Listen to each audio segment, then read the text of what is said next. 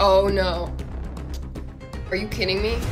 Celebrating the George Washington And this is the moment she she got messed up.